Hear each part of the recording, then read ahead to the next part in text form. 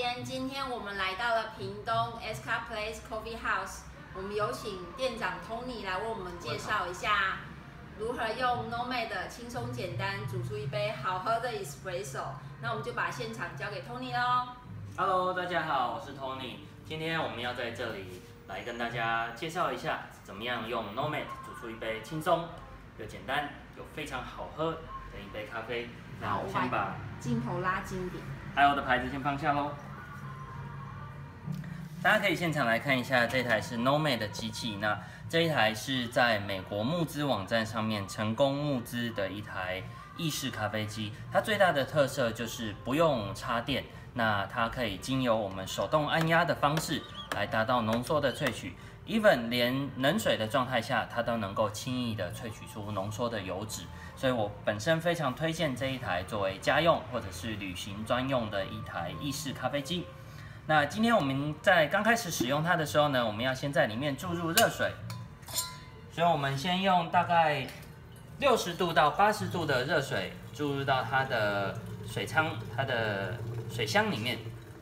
水箱通常可以加多少水？水箱通常的水量大概可以加到一公升左右，但是我们基本上会建议以大概一杯至两杯的分量。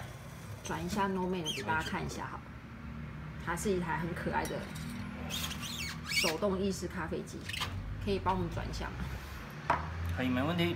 有点困。在这个地方来注入我们的热水。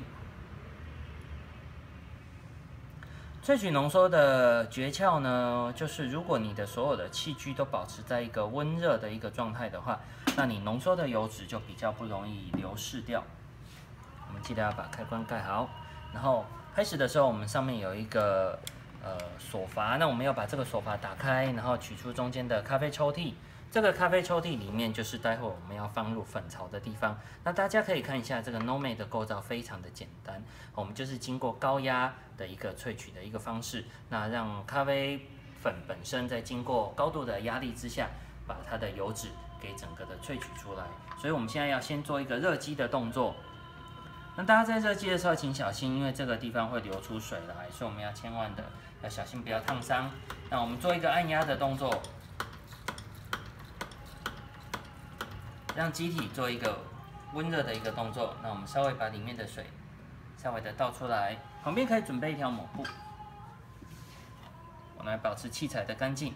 随后呢，我们机器已经加温好了，这个时候呢，我们要放入可以另外添购的落粉器，在这一个咖啡的滤杯上面。那今天我们要替大家介绍的是这一支我自己非常喜欢的巴拿马的豆子。那这支巴拿马它是在当地一个叫做波奎特的一个产区，那这个它是由当地一个叫做伊利达的一个庄园去生产的。这个品种比较特别，因为它是一个蒂比卡的品种。这个其实就是跟日据时代日本人在台湾古坑或者是华山还有三地门所留下来的品种是一样的。那这一支豆子它是做日晒的处理，我们可以让大家更贴近镜头来看一下，maybe 你可以闻得到它的香气。我们可以看一下这只豆子，我们是做浅培的处理，那本身它的颜色非常的漂亮，它会呈现出很多像成熟的浆果的味道，然后带一点樱桃、莓果的这一个香气。今天我们使用 Nomad 呢，我们要来教大家现在非常非常流行的一个浓缩的萃取概念，叫做低压萃取。所谓的低压萃取呢，就是我们在一般的意式咖啡机里面呢，它是用九个 bar。的大气压力去强制的在咖啡的粉上面去加压，然后让意式咖啡机里面，好，在经过很大的压力的时候，去把浓缩给挤出来。但是在这几年比较流行的一个趋势呢，我们用比较低压的方式去带出更多咖啡里面的果香，然后还有精品豆本身属于它非常水果、非常花香，然后非常轻柔的这一种调性。那我们现在开始教大家怎么制作。首先，我们用十五克的咖啡粉，它的研磨度大概是在浓缩咖啡的研磨度。那我们把它轻轻的倒入这个粉槽，用这样子的方式倒入粉槽呢，粉比较不容易结块，因为如果粉结块的话呢，它就会比较影响到浓缩咖啡它萃取的平均度。那在这个地方呢，我们可以把它拿起来稍微的轻拍。让粉达到一个平均。之后呢，Nomad 的盒子里面会附上一个填压器，这个填压器我们可以轻轻的把它放在我们的粉上面，然后做一个旋转的动作，不管是顺时针旋转或者是逆时针旋转都可以。那最后呢，我们让它达到一个平均，这个叫做整理粉的一个动作。随后呢，我们来做一个填压，填压的力道呢不轻不重，我们稍微的压到感觉这个粉饼稍微有一点点回弹的一个力道就可以了。然后我们把这个落粉器拿起来，稍微清洁我们旁边，让我们的滤杯可以比较干净一点。随后呢，我们把它放进这个咖啡机。这个时候很重要的是，我们要轻轻的放进去，因为如果我们碰撞到这个粉槽的话呢，我们里面的咖啡粉，我们已经填压好的咖啡粉就比较容易裂开。所以我们轻轻的把它放进去。那记得我们要放上扣锁，在这个时候我们把它压下去。好，接着，所以它上面这一个是。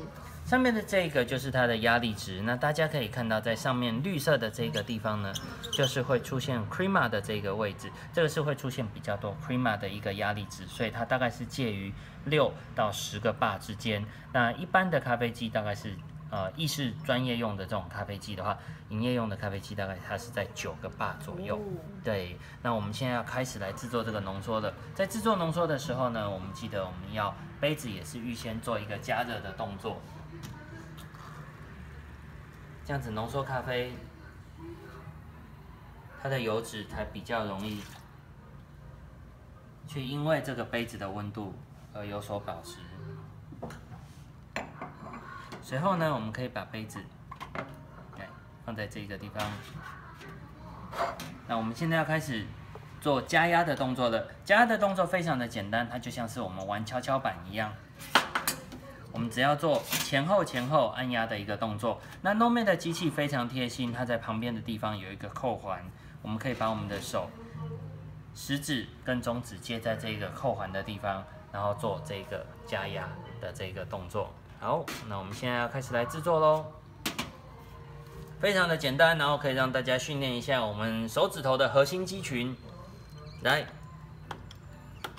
开始你会觉得非常的轻松，然后当它的压力开始累积的时候呢，你会开始感觉到它的压力指针要开始往上爬升，这个时候你就会看到有一点点啊阻力的产生。那我自己本身呢会建议我们大家在萃取的时候呢，我们可以把它的压力拉到差不多在六左右，随后呢我们可以看到它这个油脂已经开始的呈现，然后在油脂出现的时候呢，我们可以稍微降到四个巴的压力。